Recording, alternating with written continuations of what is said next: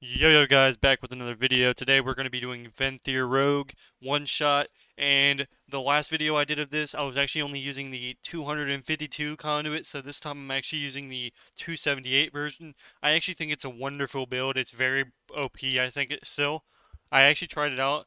This was my first time using it since then, so you could do a full mastery build. I'm actually doing a verse build, so I think next time I'm going to do a full mastery build and see the difference. But um, I am stacking verse on this one.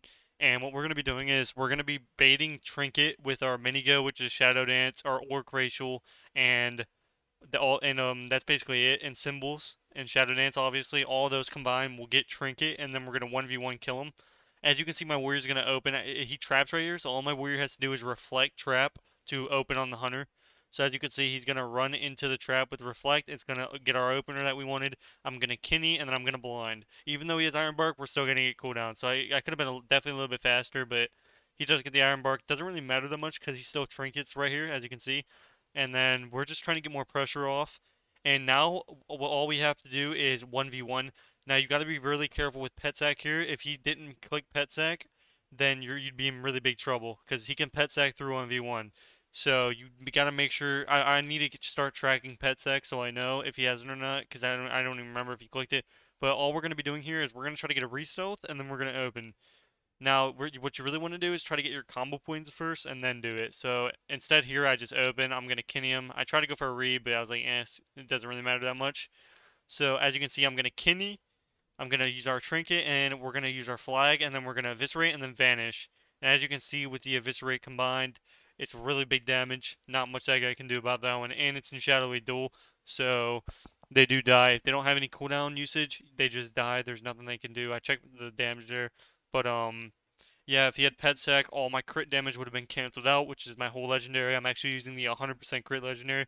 Now, if I use the um, the blue badge, I actually could enhance this thing by a little bit, but then I think you lose out on the Cosmic Trinket, which you really need for this build because you with the extra HP.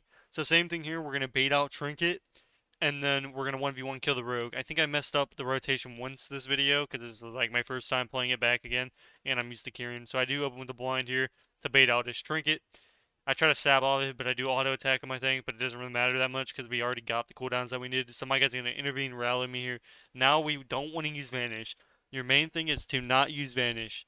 So Vanish is a huge part of your build. You're probably not going to be able to kill anybody without Vanish, so you really need to try to save it. So either if your partner is just tanking the damage, like my guy is right now, or whatever, so you want to get your 5 combo points, you want a Kinney, and you always want that Mark for Death for the Eviscerate. So we're trying to get a Restealth, and as soon as we get the Re, we're going to open, because you get the 2 seconds of crit. So as you can see, we're going to Kinney, 1v1, Cloak in the 1v1. We're also going to use our Trinket, and we're going to Vanish. And as you can see, we hit a Fat Eviscerate with the proc, with the Trinket, and there's nothing he can do about it. Unless it's like a Disc Priest, and then you'd have to get Dome, but we do take him out. Not much he can do about that one. So I think this build is actually really good with the 278 conduit. I think if you don't have best in slot, then you I wouldn't play this build until you have like full 2400 conduits, fully geared, fully gemmed. It's like you have to have everything, you know, to the max. So here again, we're going to be trying the bait trinket. We actually get wall here, which is really good. And all we really need to be doing is we're going to disarm his burst, and that's going to allow us to, uh, he's going to trinket. Because usually every warrior that pops off, they're going to trinket disarm. So as you can see, he trinkets disarm offensively. And we got the cooldowns I needed. So we got wall, we got trinket. So now he has nothing he can push in the stun. And all we really need to do now is wait we're going to get our five combo points. We're going to sap the priest just to get our combo points. It, we're not going to stun yet. We're going to get combo points so we can have the mark for death of eviscerate for the extra crit one-shot damage. Because without the eviscerate, it's kind of iffy on your damage. So uh, you, you definitely want to save mark for death for a eviscerate, especially versus really geared warriors that like have almost 100k HP as you can see. So I'm going to sap. I'm not going to kidney. I'm going to open with the combo points. And then we're going to 1v1. So I do blind him here. We're going to trinket and we're going to cloak the 1v1 and as you can see he does just die and we just got unhealable damage. And we do skip it here so we can just kill him. So he actually tries to kill me but he has no chance. Like every other healer he just dies and it is on to the next game. Basically there's not much he can do. He's a healer so goodbye sir. On to the next game. But yeah i think this build with the, everything if you have everything it's really good. Honestly even without it if you're facing people around your gear i think it's insane build still. But you do have to play it correctly. If you do play it wrong, then it's going to be really painful. You're going to be really far behind. So here what we're going to be doing is we're going to sap the priest, start on the Windwalker, and basically all we're doing is trying to get Trinket. So he pre-walls, which is a cooldown, so it's not a big deal to us because I'm going to DR blind him to get his Trinket. Same thing, you got to get his Trinket. The one cooldown in the game here is Trinket. So even if it's a DR blind, if it was somebody good, these guys are only like 2k, so they're just one they're just one button smashers that you know they're just they'll click trinket aggressively every single time no matter what. So that's why at 2k CR it's really fun, but also I mean even if they're really geared, it doesn't really matter. They you know they're melee, so they're just gonna trinket whatever I put at them when they're bursting.